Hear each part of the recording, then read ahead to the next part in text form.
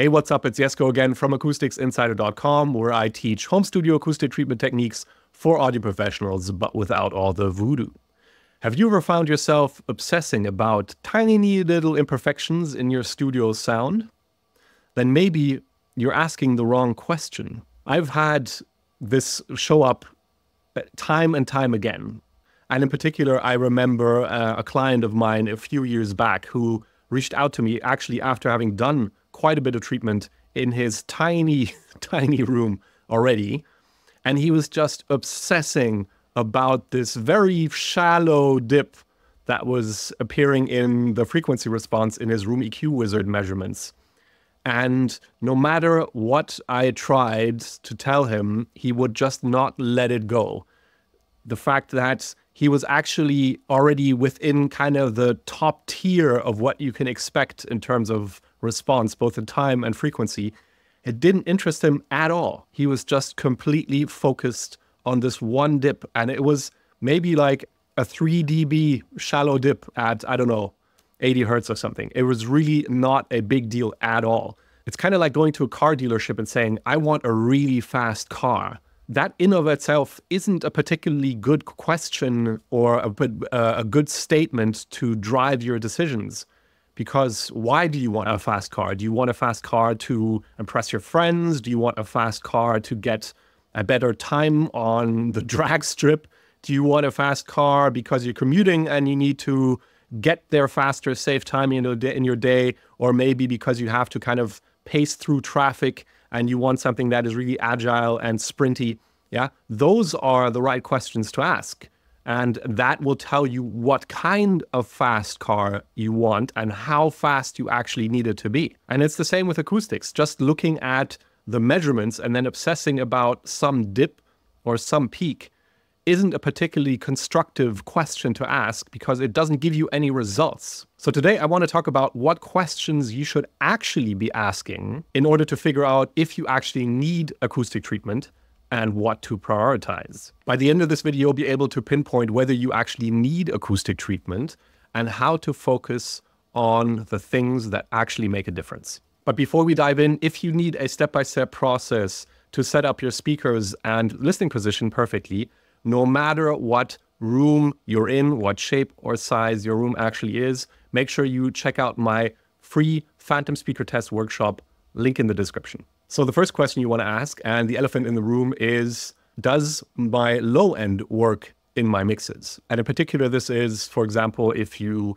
work on a mix in your studio, your low end actually sounds fine, but then you take it to your car maybe, and you get massive boomy bass. But then if you take the same mix to your friend's stereo, the bass actually completely disappears. And this is a telltale sign that the low end that your speakers in your room are giving you doesn't actually represent what is happening in the music. So this is a case where you definitely should invest some time in the acoustics, the sound, the acoustic treatment in your studio. The main reason that this is happening is because of standing waves and your particular listening position within the standing wave pattern of your room. So those are the two main things that you need to look at in this particular case. Where is your mixing setup positioned in your room? Is your listening position actually in your room's low end sweet spot?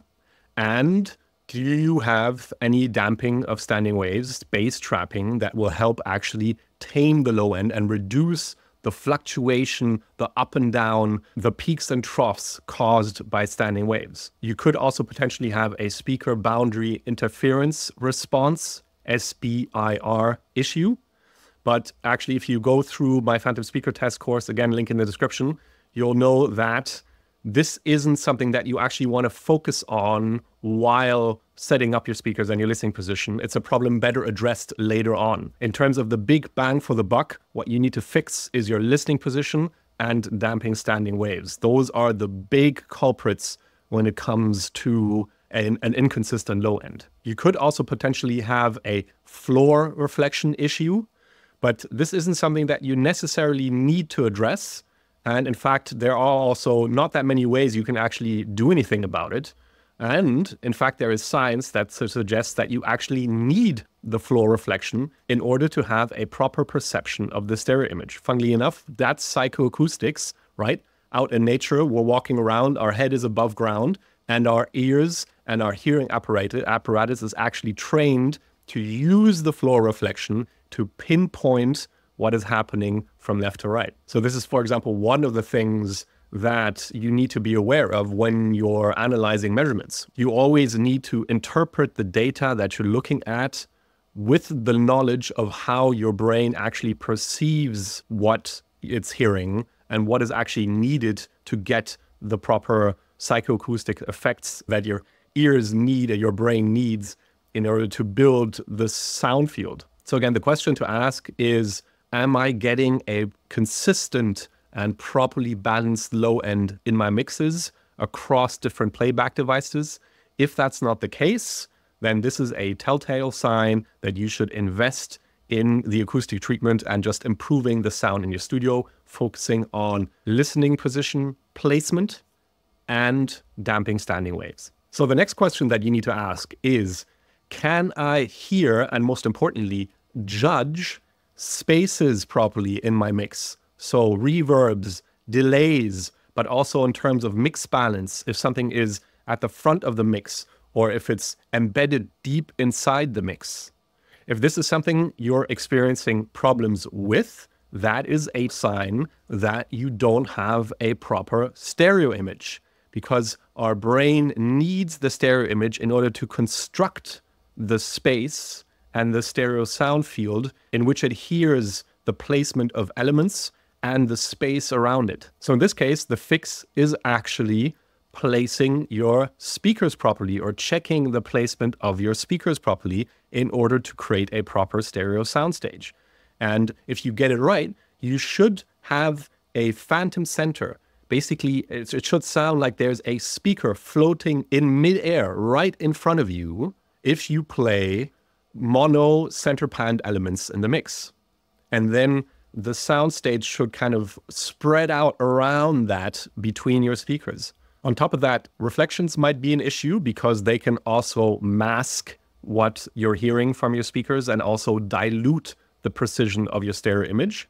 But if you don't have a proper stereo setup, if your speakers aren't optimized for a, st- a stereo sound field, then the effect of reflections is basically negligible in comparison. So again, if you can't judge spaces properly, reverbs, delays, positioning of elements in terms of depth, then that's a sign that you need to work on your speaker positioning. So the next question you want to ask is Can I balance my mix properly, or are my mixes balanced in terms of mids when I take them outside of the studio?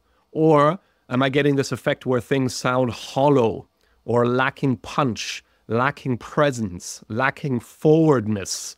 these are kind of the telltale signs that your mids aren't working properly. And again, this is actually a problem with speaker placement more than anything, because unless you have that stereo sound stage, your brain can't actually construct a solid, let's say, foundation on which the mids get represented. And so, in that sense, your speakers are once again kind of lying to you and not actually showing you what's happening. On top of that, again, first order reflections, early reflections, the kind of mirror point reflection idea that has been mentioned all across the internet and by me as well many, many times.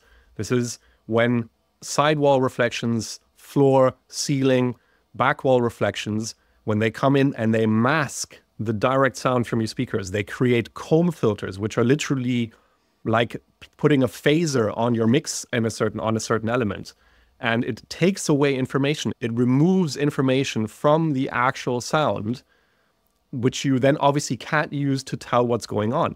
And that's what's going to make balancing extremely difficult because you can't hear the individual elements in your mix properly and how they work together. So, again, the question to ask here is Are my mixes sounding hollow, lacking punch, lacking presence, forwardness, loudness as well?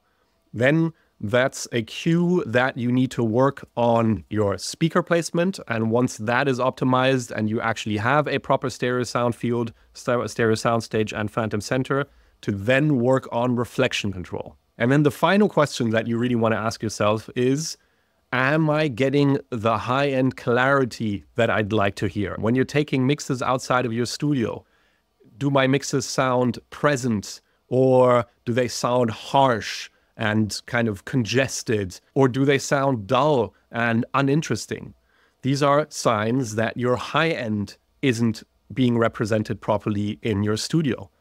Now, this is as much a mixing skill question as it is an acoustics question because if there are too many elements in your mix competing for the high end, it can be very difficult to actually get a good sounding high end. So as much as the acoustics. In that case, you actually need to look at cutting high end from your individual elements to the extent that they don't interfere with the elements that actually need to be represented in the high end.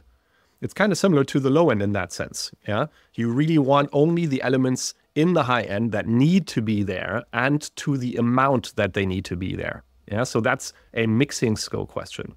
But on top of that, if you're not getting a proper high end if you can't hear the high end from your speakers. The process is to look at your speaker positioning first and then also check early reflections and make sure you're not getting any reflections from sidewalls, for example, that are messing up and distorting the high end to the extent that you can't actually tell what's going on. So, those are actually the main questions that you need to ask to figure out if you need acoustic treatment. Note that I didn't mention anything about using measurements, looking at waterfalls, frequency responses, reverb times. None of this stuff actually matters in the bigger picture when it comes to getting your mixes to translate. Your mixes will tell you what you need to do in your room in order to get them to translate. You just need to ask the right questions. So, first of all, is my low end translating properly? Or is it super inconsistent from one playback system to the next? Can I hear depth and spaces properly? Can I hear depth in the mixes properly? That's the next question you want to ask yourself. Then, am I able to balance the mids in my mix properly? Or does it sound hollow or lacking punch and loudness?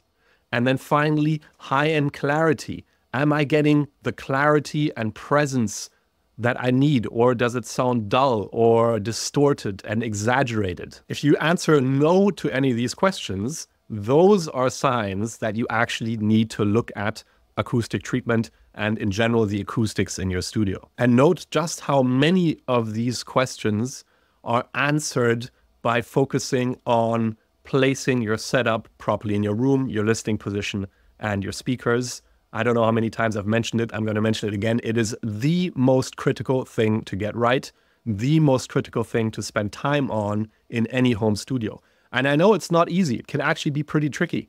There are rules of thumb out there that can help get you in the ballpark, but really nailing it down isn't actually that easy, especially if your room is asymmetrical or somehow odd in some other way, doors, windows in odd places where you don't need them. Yeah. And so what you need is a step by step, a systematic process that guides you through finding those ideal positions for your listening position and your speakers. Yeah. So that's why I created the Phantom Speaker Test Workshop. Once again, you can get that completely for free. Check it out at the link in the description. All right. I hope that helps. I hope that gives you some perspective on how to actually think about the questions that you need to ask in order to figure out if you need acoustic treatment. With that, let's get back to learning to trust our ears and having fun making music in the studio. I'll see you in the next video.